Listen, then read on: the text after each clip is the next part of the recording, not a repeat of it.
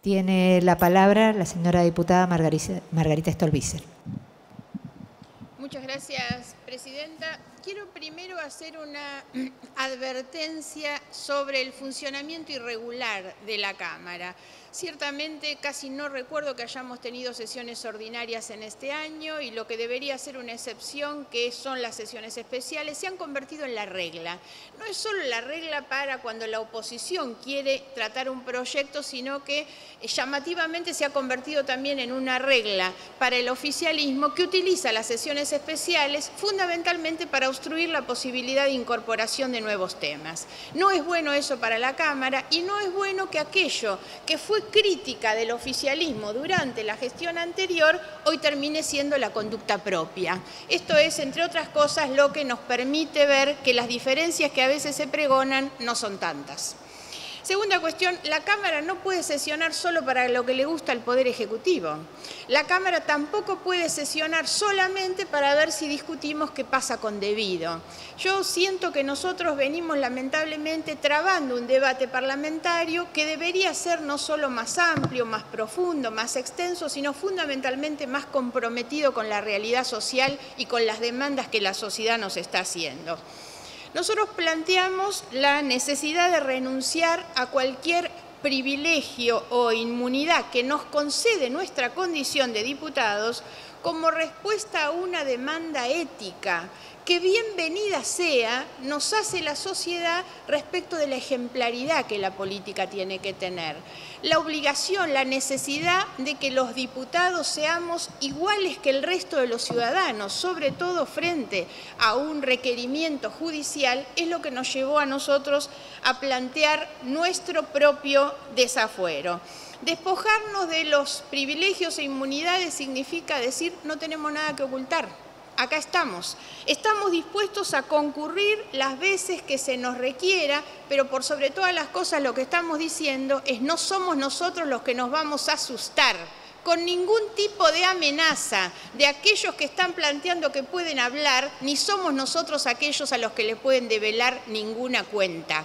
Háganse cargo justamente los que no quieren venir a dar este tipo de debate, que son los que aparecen asustados hoy frente a las amenazas de otros.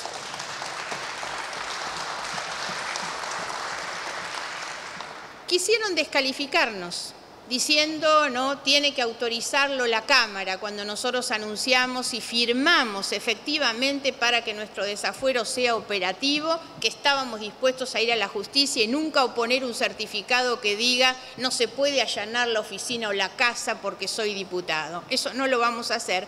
Pero además, cuando intentamos hacerlo operativo y firmamos ante un escribano, intentaron descalificarnos y decir es la Cámara la que tiene que autorizar. Bueno, para eso estamos, en realidad, para eso vinimos y hemos promovido un debate parlamentario para que sea la Cámara la que nos autorice. Sin embargo, ni unos ni otros vienen hoy a la Cámara a tratar el desafuero. Tal vez será porque nosotros pedimos eh, eh, algún parecido, alguna eh, similitud en la conducta de los otros que pudieran tomar esto que nosotros intentábamos hacer para que pudiera ser realmente una conducta y un comportamiento compartido que empiece realmente a generar una discusión y una ejemplaridad diferente nuestras posiciones no son de oportunidad, nuestras posiciones son de convicción. Por eso no es que aparecimos con estos temas ahora. Muchos de nuestros legisladores, y ellos se van a ocupar de recordar esta situación, venimos planteando esto desde hace mucho tiempo. Y los proyectos para reformular la ley de fuero son proyectos del bloque del Frente Renovador desde hace mucho tiempo. También me preguntaron en estos días ¿Por qué razón, en mi caso personal, siendo que ejerzo en esta Cámara desde hace tantos años, por qué ahora y no hace muchos años? Bueno, miren, en realidad porque yo he formado parte o he sido eh, testigo de una Cámara presidida por Juan Carlos Pugliese. La verdad es que no fue antes, porque yo pertenezco a una generación inspirada atrás de una persona como Raúl Alfonsín, que se murió viviendo en el mismo departamento de la calle Santa Fe que tenía antes de llegar a ser presidente. Por esa razón hoy estamos planteando cosas que no hemos planteado antes, porque la degradación de la política y todo lo que hemos visto en los últimos años en la Argentina es lo que nos está demandando a nosotros conductas diferentes. No podemos comportarnos hoy. Porque la política no es hoy lo que era hace 20 o 30 años atrás. Estamos obligados a tener comportamientos diferentes. La sociedad pasa angustias y nosotros estamos tratando de esconder en debates ficticios para no discutir esas angustias de la gente. Por eso es que necesitamos también hacernos cargo de la realidad de nuestro tiempo. Y la realidad de nuestro tiempo es una política que ha perdido credibilidad, confiabilidad. La gente ya no cree ni siquiera en aquellos a los que va a votar tenemos que hacernos cargo, haciendo desde nuestras propias conductas y nuestros propios comportamientos todos los gestos y señales que sean necesarios. Nos descalifican diciendo eso, son gestos, son símbolos. Por supuesto, la política tiene que hacer gestos, la política tiene que tener un ejercicio simbólico de los valores y eso se hace de esta manera. Pero como si eso fuera poco, no lo hacemos simplemente para fijar una posición retórica o abstracta. Lo hemos hecho con proyectos concretos, lo hemos hecho con nuestra firma concreta para demostrar que esto es efectivamente de convicción. Ahora nosotros en este debate no nos paramos frente a debido. La verdad es que nos interesa bastante poco debido porque nosotros nos paramos frente a la sociedad. Le estamos hablando a la sociedad y por sobre todas las cosas nos paramos frente a la justicia. Porque es ahí a donde hay que empezar a mirar. Es en ese lugar donde nos están debiendo demasiadas respuestas desde hace muchos años. Y por lo tanto, nuestro mensaje va a ese lugar. No va a tener un juez que pedir para que nosotros seamos citados o requeridos que nos vengan a desaforar en la Cámara. No, nosotros estamos disponibles. Ahora, también requerimos que la justicia que tiene la pelota de, su lado en la cancha sea el que efectivamente esté dando hoy las garantías de la reconstrucción de una institucionalidad que hemos perdido, entre otras cosas por esa demora y en muchos casos por las complicidades que se han gestado también desde ahí adentro para proteger a los corruptos durante durante muchos años. Nadie podrá, y este es un poco el sentido que nosotros le damos a nuestra presencia, nosotros venimos a dar testimonio de lo que estamos dispuestos a hacer y de lo que estamos dispuestos a exigir. Yo creo que nadie puede hoy en la Argentina hacerse el distraído respecto de las responsabilidades que tiene frente a lo que ha sido la corrupción tan eh, perversamente enquistada dentro de la actividad política.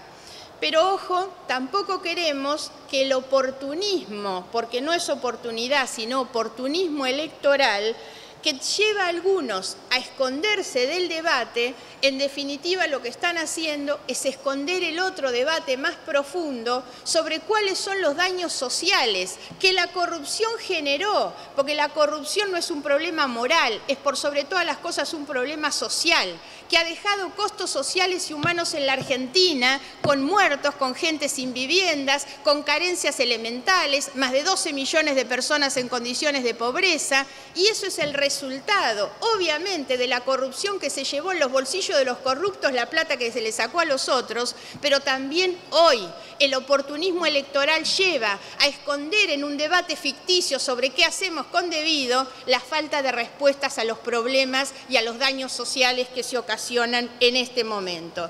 Porque lo cierto es que no se los atiende, se los desconoce directamente y esto es lo que tenemos desde hace un año y medio. La lapicera se equivoca siempre para el mismo lado. Yo no sé qué es lo que les pasa. La lapicera siempre se equivoca con los jubilados, se equivoca con los discapacitados, se equivoca con las tarifas domiciliarias. Siempre los errores los cometen en el mismo lugar. No les tembló la lapicera para sacarle las retenciones a las empresas de la minería. Les tembló y se equivocaron cuando tuvieron que quitar las pensiones a las personas con discapacidad.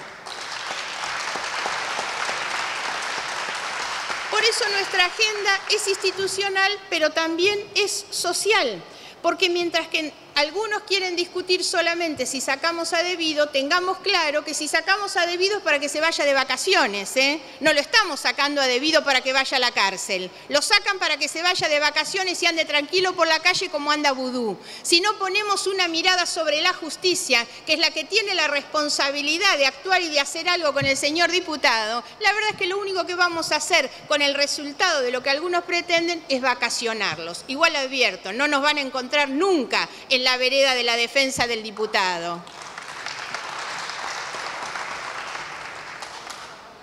Pero además de vacacionarlo, el Diputada, lleva cinco minutos de más. Ya termino, ya termino. Además de eso, lo que eso hace es que no discutamos entonces lo que hay que discutir.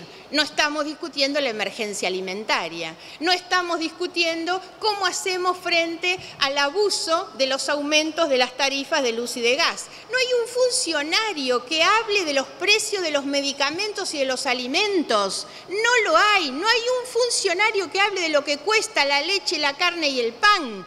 Entonces nosotros queremos traer ese debate a este recinto, porque lo que es cierto es que lo que nosotros queremos es dar una respuesta los millones de compatriotas que miran espantados el espectáculo de la política, mientras que muchos se esconden atrás de este tipo de discusión y discuten fueros para no discutir despidos y discuten los fueros para no discutir o no rendir cuentas en la justicia.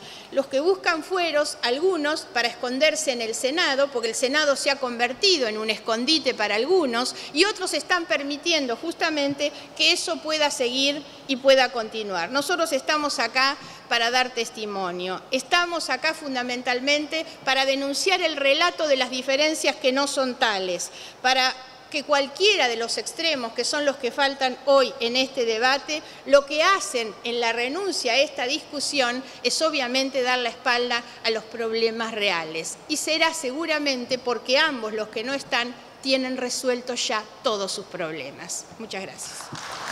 Gracias, diputada.